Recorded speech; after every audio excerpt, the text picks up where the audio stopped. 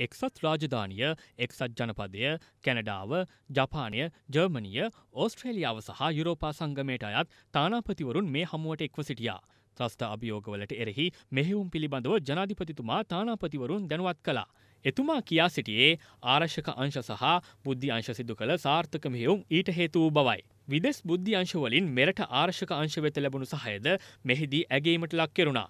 ජාතික ආරක්ෂක වැඩපිළිවෙලේදී එම සියලු රටවල් ලබා දෙන සහයමෙන්ම ආර්ථික සංවර්ධනයට ලබා දෙන සහයද අකණ්ඩව අපේක්ෂා කරන බව මෛත්‍රපාල සිරිසෙන මැතිතුමා සඳහන් කළා.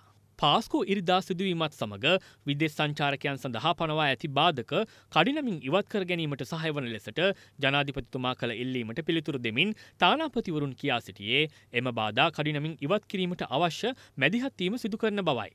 හදිසි නීතිය දීර්ඝ කිරීම සාකච්ඡාවට බඳුන් වූ තවත් කරුණක්. ආරක්ෂක අංශවල සාර්ථක මෙහෙයුම් තවදුරටත් ක්‍රියාත්මක කිරීම වෙනුවෙන් එම පියවර ගත්තද යළි හදිසි නීතිය දීර්ඝ කිරීමේ අවශ්‍යතාවක් මතු නොවනු ඇතැයි අපේක්ෂා කරන බව ජනාධිපතිතුමා කියා සිටියා.